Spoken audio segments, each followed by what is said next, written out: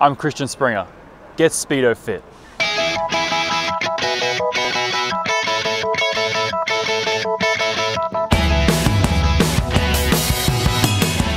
It's important to develop a routine. Uh, I think to share the experience, you know, find a squad, and uh, you, have got to enjoy it. I think that's uh, definitely an important uh, aspect. Outlining laps is, is always a key, uh, especially for someone who's, who's new to swimming. Uh, you know, I don't think to think too much about kilometres or metres as yet. Just sort of, you know, work your way up and build. You know, don't just try and attack too much too soon and, uh, you know, work into it.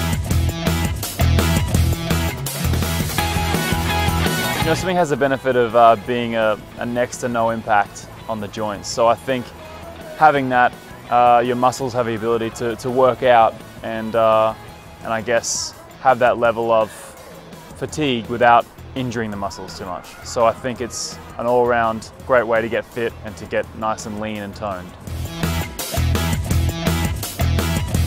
I enjoy the pool buoy. You know, I think it um, it allows your body to float and, and, it allows your body to, to move through the water a bit more effortlessly.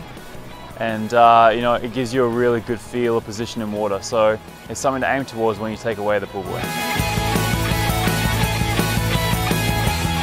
I am Speedo Fit.